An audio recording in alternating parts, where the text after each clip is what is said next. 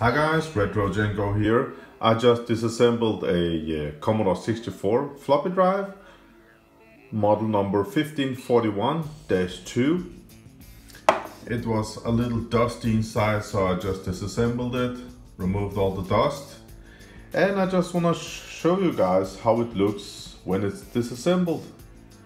I mean, if you are into these old Commodore 64s or Amigas, I mean, um, most of this uh, repair stuff you can actually do it yourself. You get you have Google as a friend, and um, it, it's pretty simple simple electronics. We got the 6502 uh, and 6522 22 again made uh, 46 week of 1987 so this is a late 1987 uh, board so maybe this drive was sold in 88. Revision 5. Yeah, this is how the board looks. Let's check out the back side.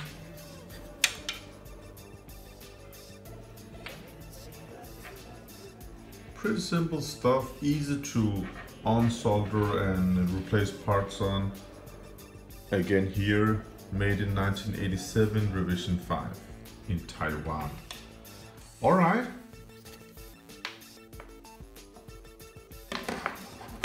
So we have this RF shield stuff that goes in there.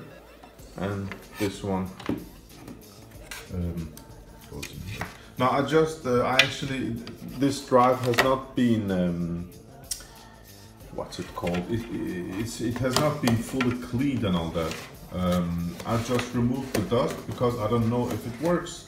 So uh, the way I do this is um, when I get new old Commodore hardware, first I remove all the dust and um, make sure they're not um, there ain't a capacitor that has leaked and all that because it's yeah 30 year old. Um, first I check that before I do anything with it. You can see here still uh, all the dust, uh, the, the big dust is gone, but I can wash this um, to make it look better.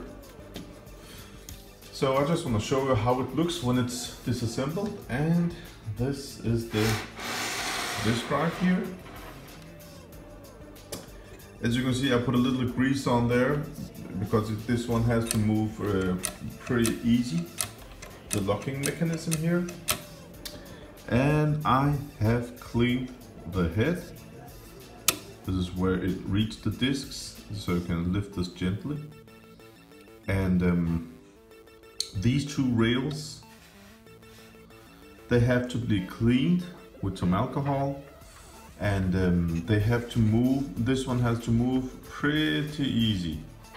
So it's been cleaned, I have to, um, what's it called? Uh, give it some grease. Uh, not that much, just a little tad, you know. So it, it so it moves moves uh, a little more smooth than this. Uh, this one has to turn freely, and this wheel at the on the side here.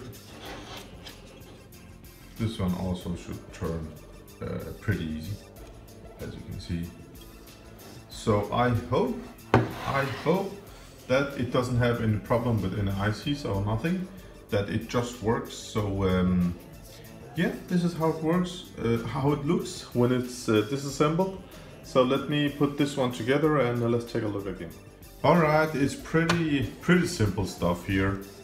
So um, yeah, put the drive in here, connected these cables. The odd thing is this one has to be uh, like this uh, to, to the right side. So these two has to be free. Yeah, I don't know why. um, yeah, I um, I greased this. Uh, just a tad here and here. It doesn't need that much. And it moves really nice now, really freely. Oh. And the head is cleaned also, so um, I'm really looking forward to try this. I hope it works. Alright guys, I just put on the disk drive and I'm loading a game. It seems like work uh, all fine. It's loading so it can take uh, yeah, a lot of time. But um, let's see if the, the sound chip works on, on this. Oh, it's ready.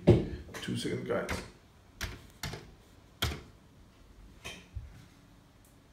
Come on, play some music.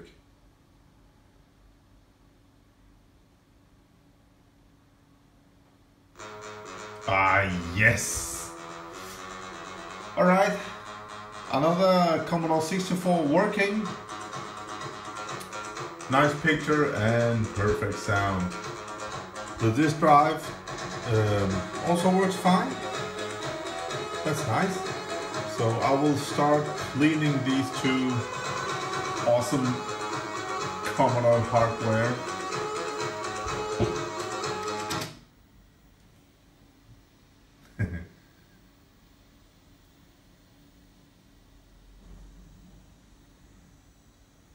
F7 start the game.